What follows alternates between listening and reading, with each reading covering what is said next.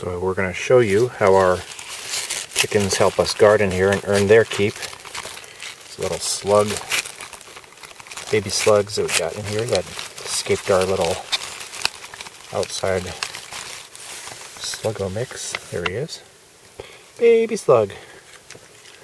And who's waiting in the wings? Uh, chicken. Yum, yum, yum, yum, yum, yum, yum. Very good.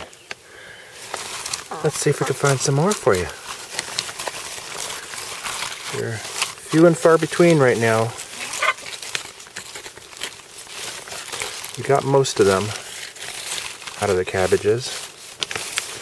Used diatomaceous earth and some red cedar dust to kind of deter the insects a little bit. A little bit of sluggo, which is just iron phosphate.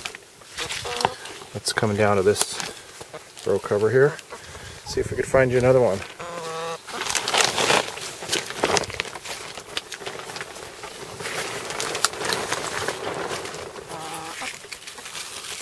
Let's see. Oh, looks looks pretty good. Anybody hiding in there?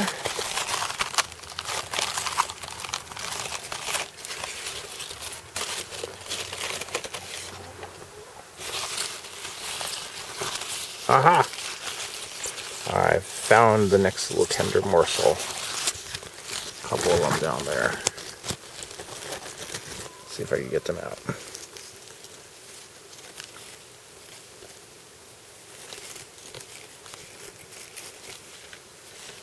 Got one of them. There's the other one. Let's see if she can find them there. Oh, yeah, immediate. Choom, choom. Oh, I'll take a little piece of dirt, too. Yummy. Good stuff. And that's how our chickens earn their keep.